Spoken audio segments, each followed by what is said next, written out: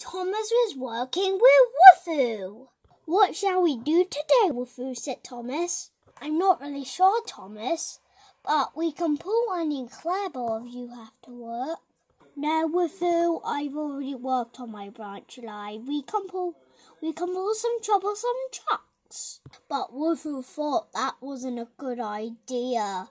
They thought they were going to push him and make him a runaway. Thomas covered up to his tracks. Thomas, I actually think this is an actually good idea. Even what could possibly go wrong? And so Thomas puffed away. Thomas pulled the trucks along the line. He went across the bridge. The trucks weren't very happy. Thomas, I actually don't think this is a good idea. Something, I think something's wrong with your code. But Thomas said, Even! What can possibly go wrong? Nothing's going to go wrong. But then suddenly his his code gone wrong and his cab caused on fire. Thomas, you've got to stop. Something's wrong with you. No, no.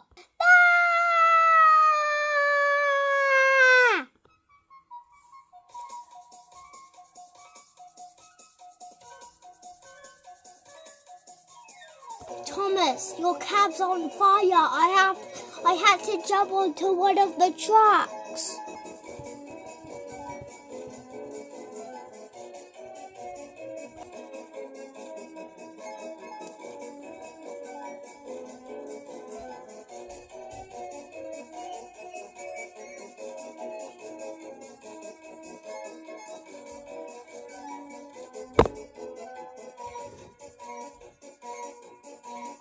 Thomas, I see some freight cars up ahead. Thomas saw the back of the goods train.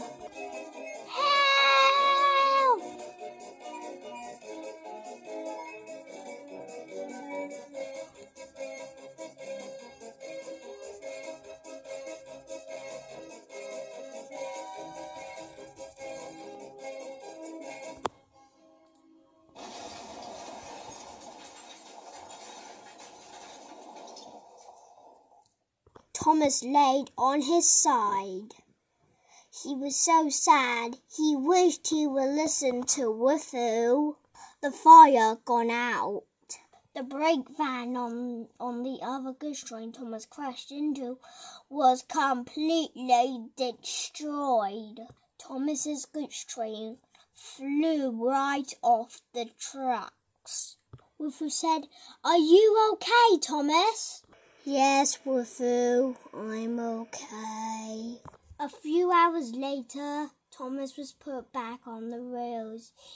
He felt very silly of himself. He knowed he shouldn't listen to Wolfoo, but well, that's another story.